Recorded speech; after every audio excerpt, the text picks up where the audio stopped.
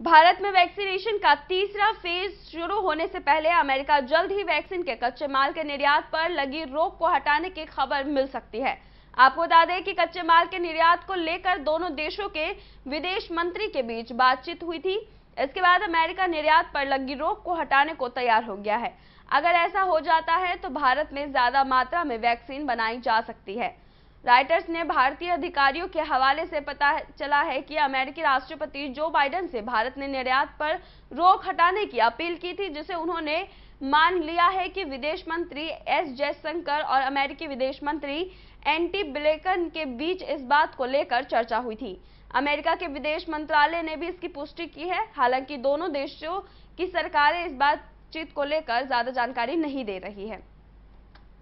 सौ फ़ीसदी प्लेसमेंट के साथ हम देंगे आपको मौका। Live 24 media institute admission open registration के लिए कॉल करें। Nine five six zero four six four one seven zero